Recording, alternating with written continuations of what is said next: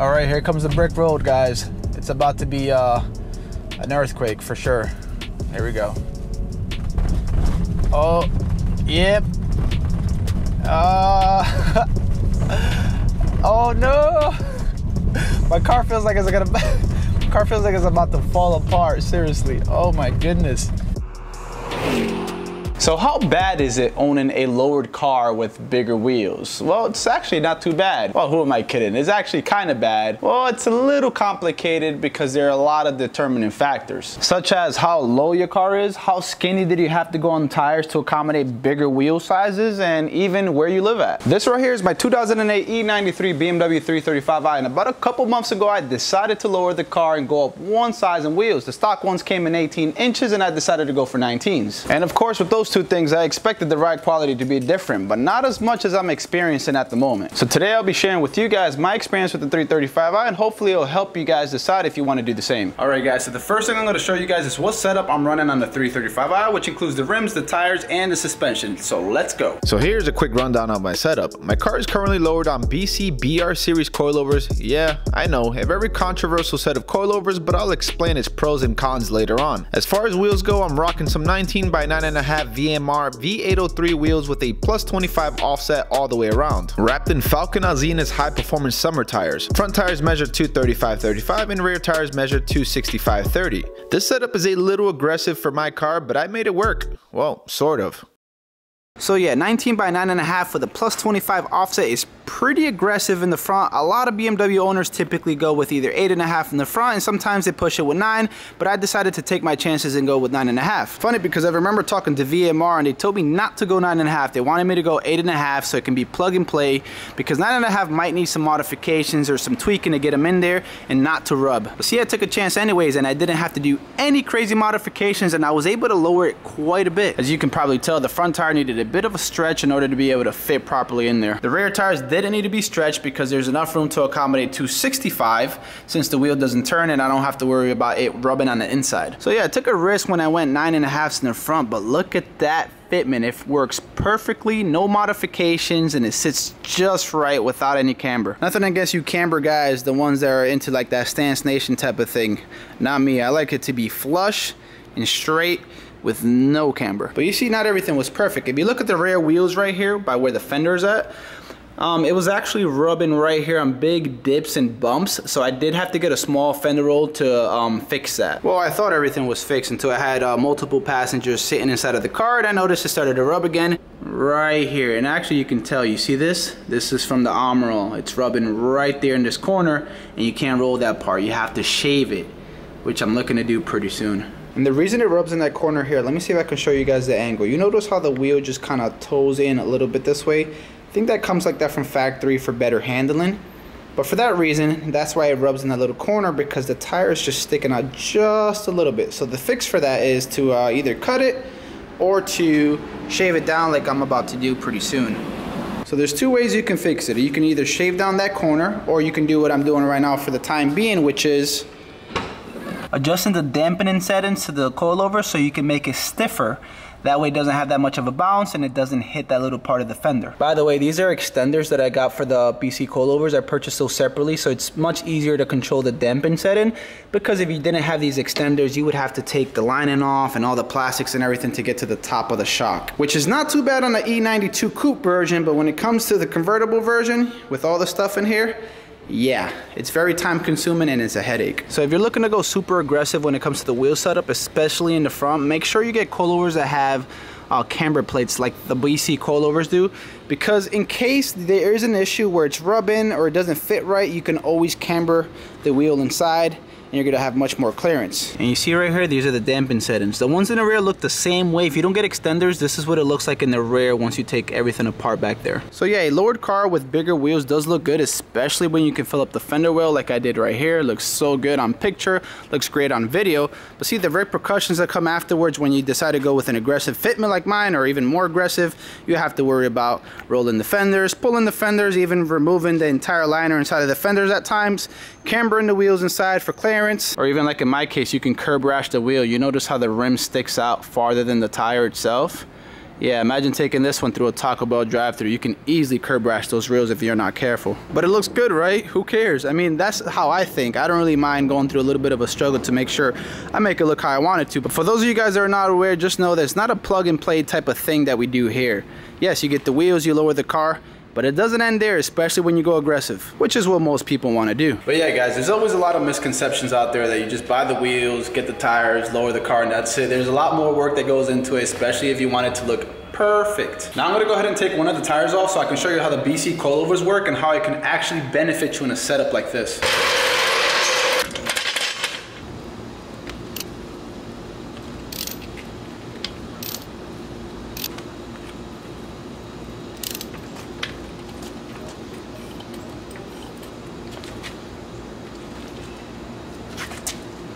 So these are the BC coilovers, the BR series. Um, I absolutely love these for a few reasons. One, because they're pretty affordable for coilovers. They're under a thousand dollars and you get a lot of pretty cool features like the camber plates that I mentioned earlier, 30 clicks of adjustable dampening settings. And these coilovers make it really easy to lower and raise your car without having to touch the preload, which is typically a pain in the butt on some other coilover systems. It's pretty easy to raise or lower your height. You just have to loosen up this lower locking nut here with the tools that are provided. And once the locking nut is loose, then you just take the tool, go up here, and then you either rotate it clockwise or counterclockwise, depending if you want to raise or lower your car.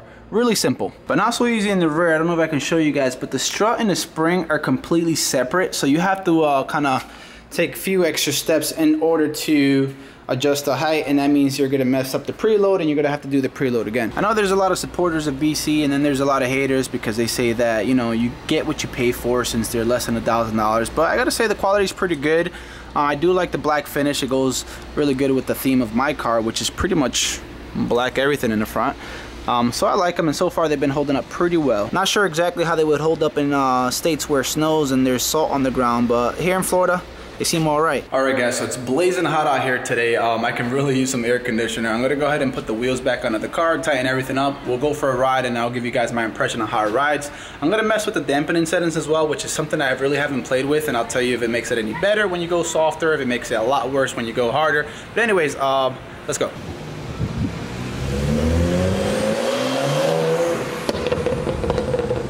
So this is awkward. A lot of people are looking at me funny because I have like this head strap on with the GoPro in order to get you guys this point of view kind of footage, which looks really cool, but I look like a damn idiot. oh, here we go. He's staring right at me. Yep, everybody that looks at me just kind of stops and stares because they don't know what's going on. They don't know that I'm making content for you guys. All right, so we're on the road. Um, I'm pretty much riding on stiffer than normal dampening right now on the coilovers. I think I'm at 15 clicks in the front and 10 clicks in the rear. The reason I'm going so stiff in the back is because I haven't shaved off the part of the fender that I told you my wheel is rubbing up against.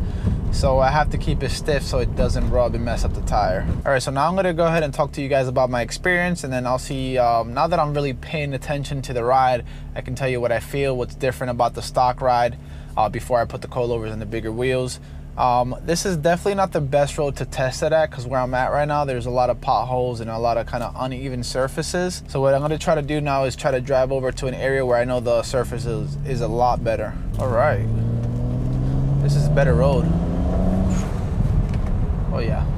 All right, so when you're on a smooth road like this, you don't really feel much of a difference. Um, if there's small imperfections, you do feel them and you actually hear them as well. Obviously, my tires are much thinner than the stock ones I had on the 18 inch wheels, so there's less cushion.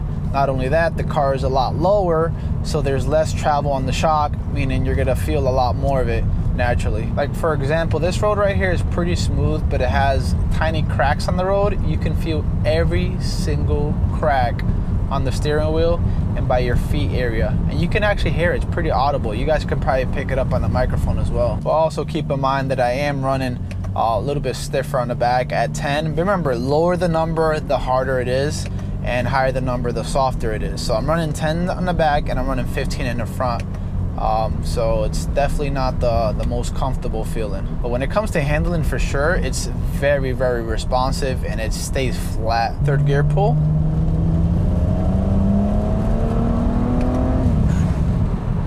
Oh yeah. Oh, you heard that? It rubbed in the rear. Oh no. Yeah, you see like this gravel type of road, you're definitely gonna feel it. And it's not gonna feel pleasant at all. Burbles? Burbles? There it is. So it kind of depends where you're living at. If you live in an area where there's continuously uh, smooth roads, then the setting where I have it right now, 15 in the front and in the back, is actually not too bad. Um, I'm gonna go ahead and take some turns right here and tell you exactly how that feels around corners. Check this out, it's uh, a little footage of uh, what I'm recording at the moment so I know exactly what's being captured and if it's filming correctly.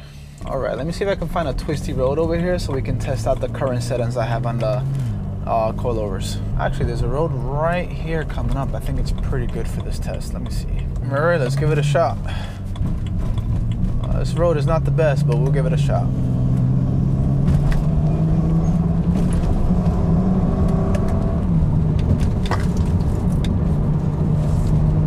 Oh yeah.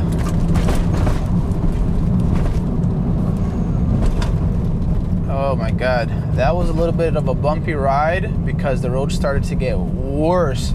But see, that's one of the benefits of lowering your car and going coilovers, man. Through those turns, you could go super fast and it stays planted, assuming you got really good tires.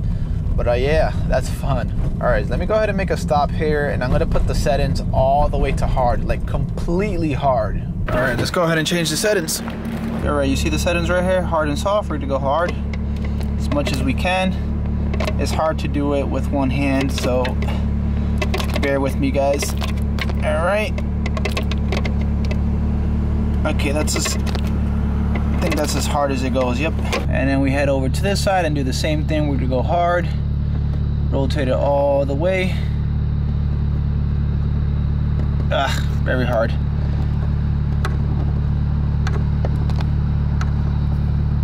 Okay, I think that's as hard as it goes. Yep. And these are the ones in the front. Oh, yep.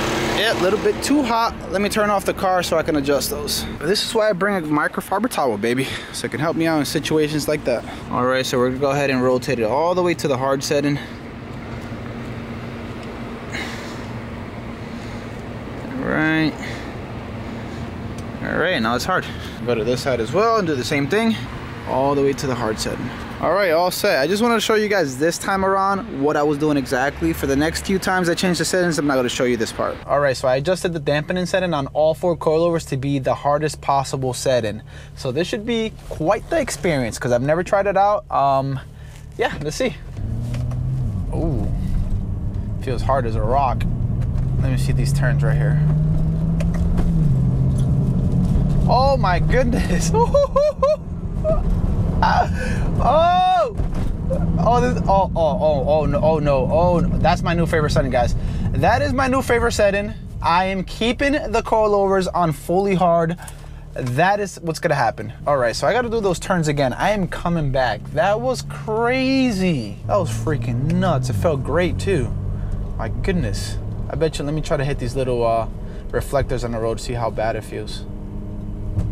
Oh yeah you could definitely feel them probably little to no cushion on the shock right now. Oh my God, that was fun though. The guy's probably looking at me through the rearview mirror like, what the hell is this idiot doing with that device on top of his head? Guys, this feels freaking amazing on completely hard. The amount of control you have, I'm just turning right now. Oh yes, oh yes. I like it, the amount of control, just how it stays planted, it just feels great. But I'll tell you something, if you hit bumps or anything, you're definitely bouncing around. But of course, a setting like this is meant for very smooth roads like the track. I don't think this works for regular street driving just because when you hit any kind of bump or any uneven surface, you feel like you're kind of bouncing around because the, the shock doesn't, how do I say it? The shock doesn't, um, it barely moves. All right, I'm back on my favorite road. All right, made it back to the turns. We're gonna try that out again. Yeah, but you can definitely feel the bumps and the imperfections on the road on the hard setting. My God. I'm sure if you drive passengers on this car, they're gonna be like, get me the hell out of here, please. It's not a comfortable ride at all, but it stays so planted. See, this is only something like car enthusiasts can truly enjoy. Yeah, but the, the, road, the ride is really, really rough. That's for damn sure. Oh my goodness. But here comes the turns again. There it goes, second gear. Oh yeah. Oh yeah. Oh, there comes a car. You know what? I have a really good idea where to test this really hard setting at. There's a specific brick road and not too far from here. I could only imagine that driving over that brick road on a setting like this is gonna feel like the end of the world. I'm gonna try that out.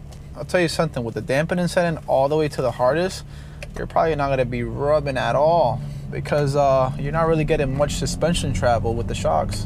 Yep, definitely not the ride quality you wanna pick up a date to go somewhere. All right, here comes the brick road, guys. It's about to be uh, an earthquake for sure. Here we go. Oh, yep. Uh, oh no! My car feels like it's gonna. car feels like it's about to fall apart. Seriously. Oh my goodness.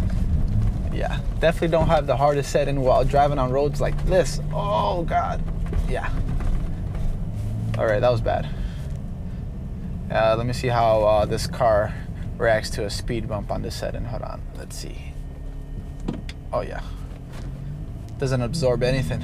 Lets you feel the, the full roll experience. All right, I'm gonna go ahead and stop and park and change the dampen all the way to the softest possible setting. And then uh, we'll see how that rides.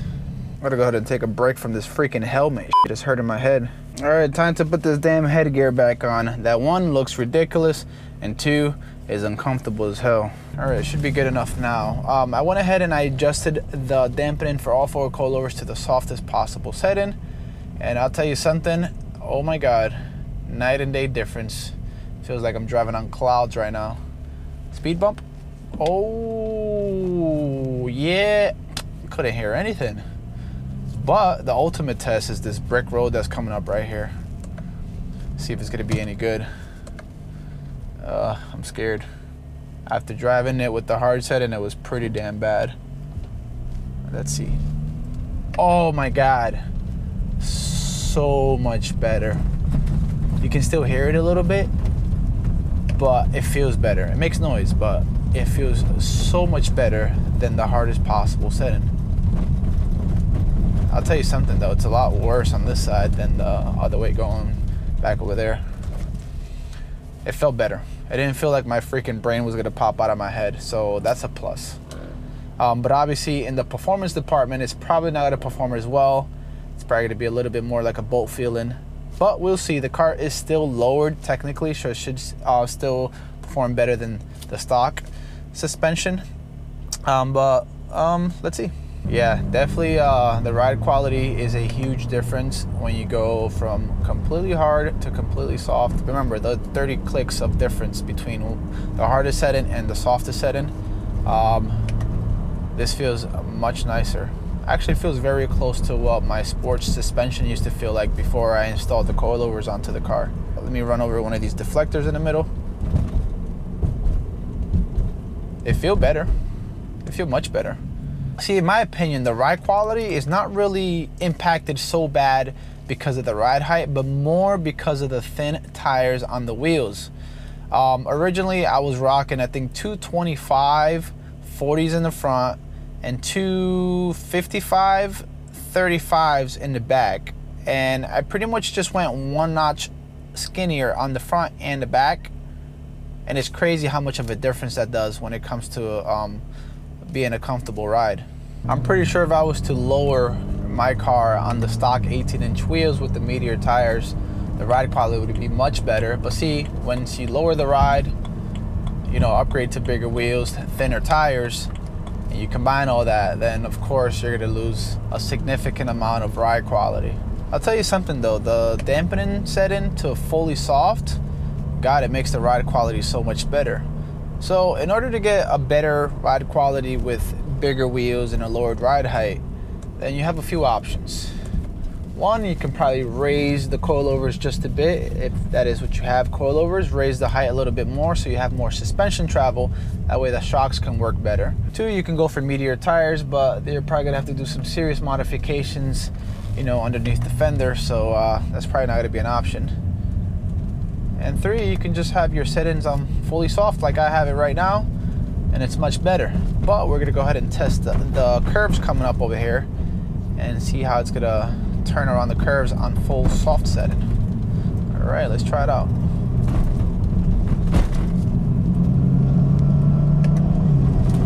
Okay. Okay, yeah, I can't go as fast on these turns with the soft settings, that's for sure. I can already feel the rear wheels slipping completely. Well, there you go. Now you have to make a decision. Do you want to go for a stiffer ride, which is better around turns and overall more fun to drive? Or do you want to go for a softer setting, which is much more comfortable, which is perfect, I guess, for daily driving, right? Because you're not really going to be driving all crazy and stuff like that. Um, so you kind of have to pick your choice. Or you can go with the original setting I had on before, which was uh, 15 in the front, 10 in the back. It's like a good combo. Or maybe you can even do 15 clicks in the front, which is right in the smack middle, or 15 in the back. And I guess that's a good middle ground between soft and stiff. So what's my verdict? Well, if you're looking for better performance, especially around turns, and you live in a city like Orlando where most of the roads you drive on are smooth and well taken care of, then bigger wheels on a lowered car isn't too bad and it's actually quite enjoyable. But if you live in a city where roads are terrible with lots of potholes and imperfections, then I probably wouldn't recommend a setup like the one I'm running on my 335i. 18 inch wheels with Meteor tires is probably the best way to go with bad roads. If you're looking to get coilovers to lower your car, I do recommend getting ones that have dampening settings as it'll make things more flexible. I'll link the BR series coilovers down in the description below if you're interested in getting a set. I really do hope you guys found this video helpful and if you did make sure to hit the like button and as always thanks for watching till next time.